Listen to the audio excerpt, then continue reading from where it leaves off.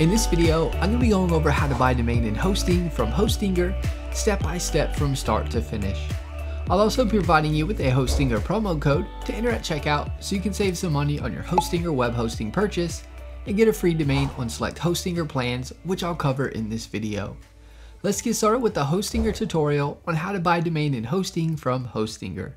The first thing you want to do to buy Hostinger web hosting is to click the link in the description below so you can be taken to Hostinger and so you can take advantage of the Hostinger discount.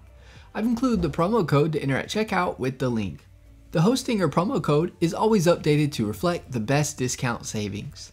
A little disclosure, the link is an affiliate link, meaning I'll receive a commission from Hostinger at no extra cost to you.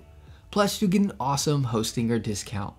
Once you click the link in the description below, you'll be on the Hostinger Shared Hosting Plans page. Scroll down and you'll see three different plans you can choose from. The Hostinger promo code I provided with the link in the description will actually save you even more money than you see being listed here.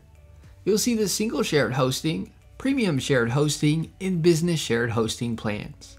I do want to note that the Hostinger promo code will work for any type of hosting that Hostinger offers, such as cloud hosting, WordPress hosting, and more. The single shared hosting plan is great for beginners and is best if you're only going to have one website. This plan doesn't include a free domain name. The next plan is the premium shared hosting plan, and this plan is a popular plan as it includes up to 100 websites and a free domain name on any of Hostinger's annual plans. This plan allows up to 25,000 visitors per month the Business Shared Hosting Plan comes with up to 100 websites and a free domain name on any of Hostinger's annual plans, just like the Premium Shared Hosting Plan. This plan is good if you're going to have a large number of site visitors to your site, as this plan includes up to 100,000 visitors per month. This plan also includes free daily backups of your site. Once you decide on a plan, click the Select button. For this tutorial, I'm going to choose the Single Shared Hosting Plan. You'll now see the different terms you can choose for your Hostinger web hosting purchase. Let's add in the Hostinger promo code so you can save even more money than what is showing here. Scroll down to where you can see total, you'll see have a coupon code. Click this and enter the promo code I provided with the link in the description. Click the plus icon. If you scroll back up to the top, you'll now see additional discount savings showing. You'll notice you'll get the greatest discount with the 48 month term. If you went with the premium or business shared hosting plan, you'll get a free domain name with a 12, 24, or 48 month term. Scroll down to the create your account section, input an email or create a login with your Facebook, GitHub, or Google account.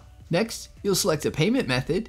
You can choose to pay via credit or debit card with the credit card option, PayPal, CoinGate, Google Pay, or Apple Pay.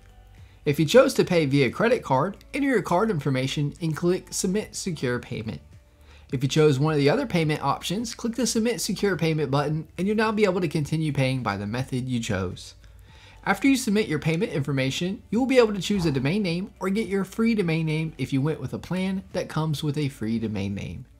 You'll now receive an email with your receipt for your Hostinger purchase. You'll now be directed to where you can type in a password you want to be used for logging in to the Hostinger dashboard. You'll now be directed to a page where you'll see Hello and a Start Now button. There are two different ways you can register a domain name, whether it's a free domain or you need to buy a domain. The first way is if you are ready to set up and start creating your site now, you can click the Start Now button. It'll now guide you through getting your hosting account set up. The third step in this process, you'll see this page here.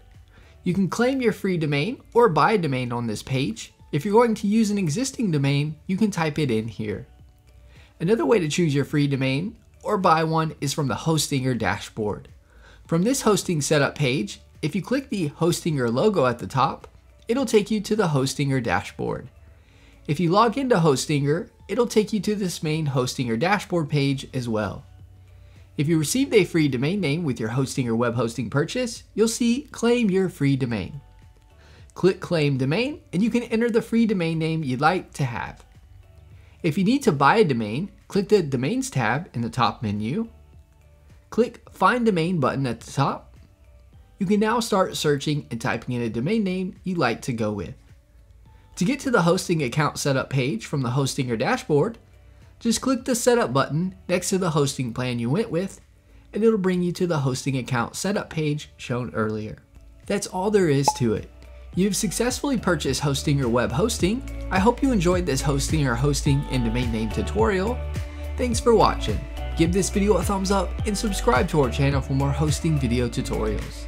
Leave us a comment, we love hearing from you.